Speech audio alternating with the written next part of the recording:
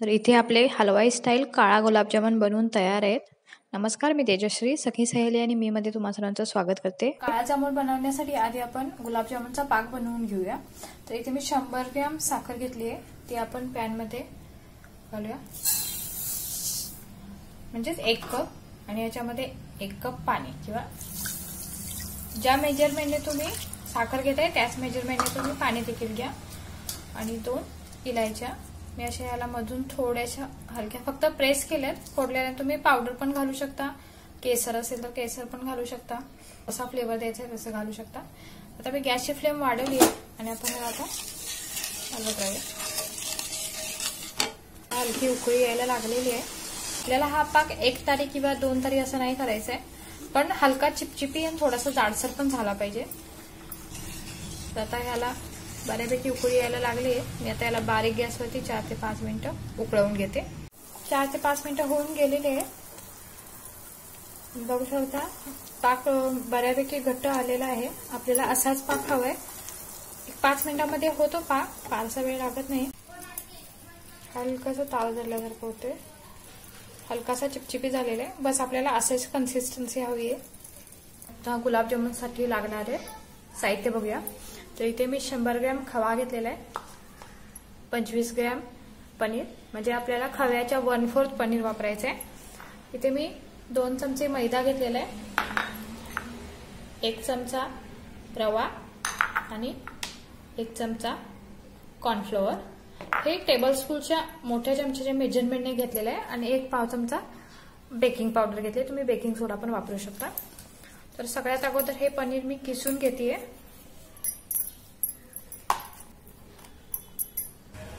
तर पनीर आपल्याला अगदी बारीक करून घ्यायचं आहे शक्यतो आपल्याला ह्या हाताचा वापर केला तर बरं होईल. या प्रेशरने काय होईल? त्याची स्मूथ पेस्ट बनेल. आता आपण याच्यामध्ये रवा घालणार आहोत. रवा एकदम ऑप्शनल आहे. कुरकुरी टेक्स्चर येण्यासाठी मी इथं हा रवा वापरलेला आहे. तुम्ही नाही वापरत तरी चालेल. पनीरला आपण आता थोडं बाजूला ठेवूया. आणि अशाच पद्धतीनं मॅश करून घ्यायचंय. आपल्या हाताच्या या. याचा वापर करू. शक्यतो ताजा मावा असेल तर अतिउत्तम. घरात बनवलेला असेल तर त्याच्याहून उत्तम. तर हे साधारण मी दोन ते तीन मिनिटं मिक्स करून घेतले. आता याच्यामध्ये पनीर घालूया. आणि पुन्हा मिक्स करून घेऊया. हलकंसं मिक्स करायचं आहे जास्त नाही. आणि आता बाकीचे राहिलेले पदार्थ आपले मैदा कॉर्नफ्लॉवर किंग पावडर ते देखील आपण आता पावडर मिक्स करून घेऊया.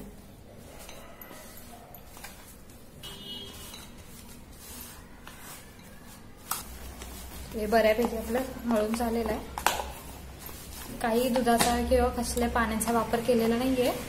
माव्याच्या आणि पनीरच्या ओलाव्यामध्ये सगळं मिश्रण मिक्स झालेलं आहे. साधारण ह्याला मी चार ते पाच मिनिटं चांगलं असं हळून घेतलेलं आहे. इथे मी थोडासा छोटासा गोळा काढलेला आहे. याच्यामध्ये एक पिंच मी फूड कलर घालणार आहे. तुम्ही हवं तर ड्रायफ्रुट्स वगैरे मिक्स करून घालू शकता. किंवा अजून तुम्हाला काही व्हेरिएशन हवं असतील तर ते करू शकता. आता मिक्स करून घेऊया कलर तर आपला कलर मिक्स करून झालेला आहे. आपण याचे छोटे छोटे गोळे करायला घेऊया. तर इथे मी गोळे बनवून अंदाजे घेतलेले आहेत. आता आपण याचा गुलाबजाम बनवायला घेऊया.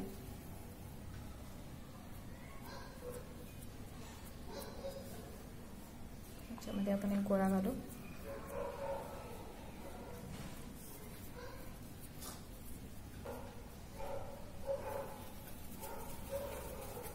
आपल्याला प्लेन गोळा बनवायचा आहे. बिलकुलही छेद वगैरे नाही पाहिजे त्याच्यामध्ये.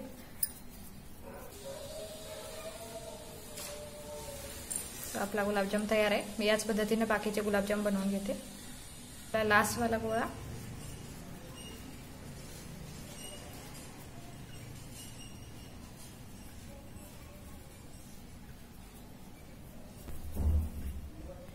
आपले गोळे तयार झालेले आहेत.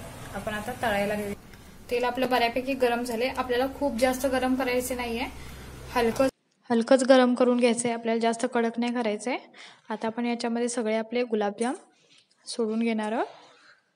तर इथे गुलाबजामुनना आपल्याला डायरेक्टली पळ्याने हलवायचं नाही आहे पॉसिबल असेल तर तुम्ही पकडणे किंवा एखाद्या कपड्याने पकडून हलकंसं हलवू शकता.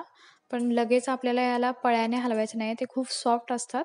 नाहीतर ते फुटून जातील याच्यामध्ये. जोपर्यंत याला चांगला ब्राउनिश कलर येत नाही तोपर्यंत आपण याला पळ्याने हलवणार नाही आहे तर आता आपण याला पळीने हलवू शकतो. तर इथे आपले काळे गुलाबजाम भाजून झालेले आहेत. तर हे पाकात घातल्यानंतर आणखीन काळे दिसतील. बारीक गॅसवरच ह्याला मी भाजून घेतलेला आहे. त्यामुळे जास्त वेळ लागला. तर आपण ह्याला आता बाउलमध्ये काढून घेऊया. मी ते पसरत भांड्यात ट्रान्सफर करते कारण मग ते पाकामध्ये पूर्ण बुडून जाते म्हणून. मिनिटभर याला मी थंड केलंय फॅन खाली. एकच मिनिट कारण खूप गरम होते ते. आणि पाक देखील कोमटच आपल्याला घालायचं आहे तर आता आपण याच्यामध्ये आपला पाक ओतून घेऊ. फक्त हलकच फिरवून घेऊया पाकामध्ये बुडवून. यात आपण ह्याला साधारण एक दीड तास एक ते दीड तास आपण याला झाकून ठेवणार आहे. तर इथे मी काळे गुलाबजाम हे साधारण दीड तास मी घातले होते. आणि आता आपण याला सर्व करूया. तुम्ही बघू शकता किती छान टेक्स्चर आलेलं आहे. आपण एक कट करून बघूया आता.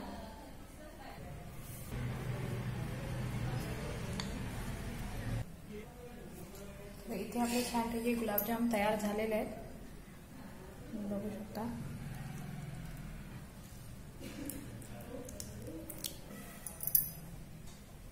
तुम्ही बघू शकता आतून देखील किती सुंदर झालेले आहेत. अगदी पाक आजपर्यंत मुरलेला आहे छानपैकी. तर ही रेसिपी आवडल्यास नक्की लाईक शेअर व सबस्क्राईब करायला विसरू नका. तसेच कमेंट देखील करत जा. धन्यवाद.